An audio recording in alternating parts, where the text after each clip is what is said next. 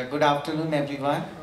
I'm from Creative Polypack Limited and I represent the packaging industry. I, I would like to give you a brief about the packaging industry. Uh, globally, packaging industry is a 80 billion US dollar industry.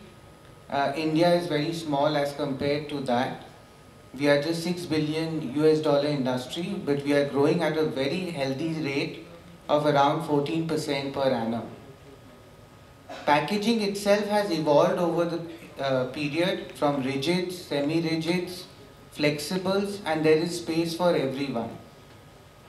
Flex, we are in the flexible line and uh, flexible packaging has its own advantages like barrier property, easier to handle, to bring the cost of transportation, storage down, it can be used to bring tailor-made solution for the products and also for brand building.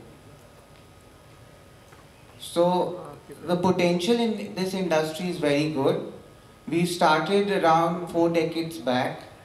It's been a very good journey for us. We have also seen a lot of ups and downs, but we've never lost hope.